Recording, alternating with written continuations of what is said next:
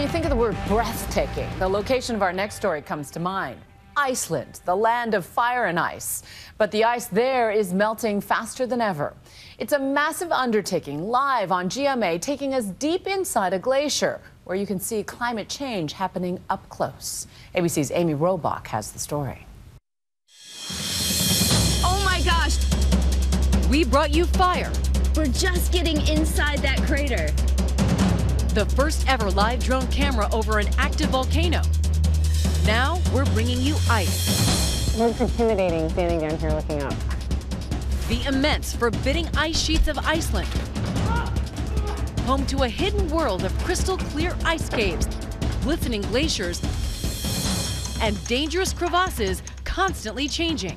This SmugMug documentary capturing the stunning beauty and treachery of the terrain. We are standing in the middle of the melting Vatna Glacier, and scattered all throughout this glacier are massive vertical sinkholes that are treacherous. They go hundreds, even thousands of feet into the earth where ice is melting faster and faster as water levels in the Atlantic rise even more. Throughout geologic time, and certainly for the last two million years, we've gone through ice ages and warm periods, and glaciers come and go over time. What we're seeing right now, though, is a real rapid increase in the rate of thinning and melting that we're seeing, and that's related to human-induced climate change. Gearing up for this treacherous journey has been a multi-day expedition. Just call these guys glacial lifesavers.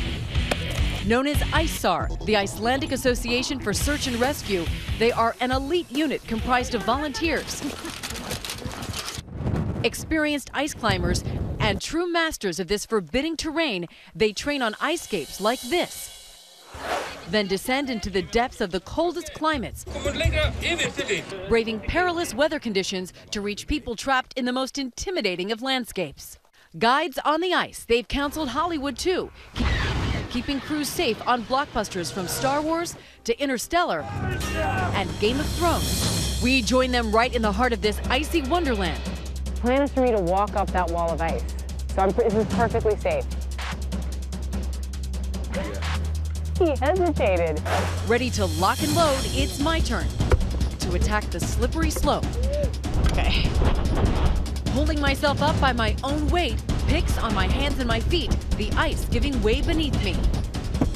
Getting a small taste of how difficult, dangerous, and exhilarating it all is. And finally, I got up. then by car and foot, our team trekking nearly a mile through water, rocks, and ice, all in Arctic temperatures. The landscape dazzling, dangerous, and disappearing fast. Losing an average of 11 billion tons of ice per year, this satellite picture taken in 1986 and this one 28 years later, Iceland is melting and that water has to go somewhere. When you're talking about changing sea level, you're talking about impacting a, a tremendous population around the world. Including Miami's coastline, those waters already climbing an inch a year. And take a look at this. If sea levels keep rising, in two centuries, some scientists warn that city could be completely underwater. Charleston, too, even New York. And these other low lying areas around the globe, entire ways of life now threatened. So we're plunging far below the surface of the ice in a never before attempted live event. Hey guys, go for it. Go ahead and start ice climbing. Going deep into this glacier, passing bands of darker ice like the rings in a tree, showing ash and debris from volcanic eruptions from ages past. Vatna, a glacial sinkhole. A massive drain pipe for melting ice that can be thousands of feet deep. And all this melting water eventually ending up in the ocean. This is really remarkable watching them scale this massive ice wall. It takes tremendous skill, tremendous expert, but it's all to get to the bottom. What do you expect they'll see when they get down there and what we'll all see? This is one of the most interesting and least known parts of glacier research, which is how does water from the surface get to the base and help lubricate the base to make the glacier flow faster? It's a long, treacherous way down, but finally. Guys, I want to check in with you. This is Amy again. You made it to the bottom? That's right. Tell me what you're seeing. Describe what you're looking at. So we got that Everything is awesome. he went ahead with I'm a, a surrounded by crystal clear black and blue ice, and I can tell you one thing. I have a challenging climb in front of me. But some scientists say not nearly as challenging as the problem we face slowing the melting of this vanishing perilous hidden world.